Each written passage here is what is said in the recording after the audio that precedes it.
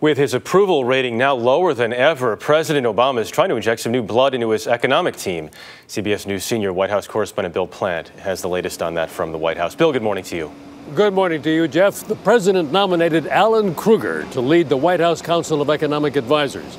This comes as the president is working on new economic initiatives, which he will unveil next week in hopes to reverse his slumping poll numbers.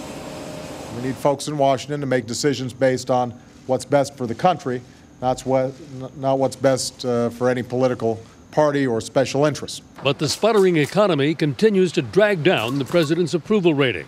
The latest Gallup daily tracking poll shows it to be at 38%, a record low. And the new Associated Press poll shows President Obama is faring poorly among key groups who helped elect him in 2008. Seven out of ten white independent voters say he doesn't deserve a second term, and only 50% of women believe he should be reelected. That's down from 68% recorded after Mr. Obama's first 100 days in office. Alan Krueger, the Princeton economist whom the president has tapped to lead his economic team, spent two years at the Treasury Department, where he worked on the popular Cash for Clunkers program. With 9.1% unemployment and a depressed housing market, Krueger will have a full plate if his nomination gets through the Senate.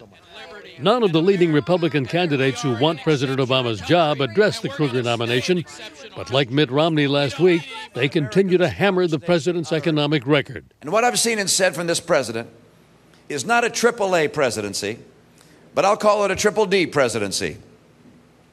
It's been a presidency which has been uh, associated with debt and with downgrade and with delay. In his Rose Garden announcement of the Krueger nomination, the president acknowledged the painfully slow pace of the economic recovery. Our great ongoing challenge as a nation remains how to get this economy growing faster.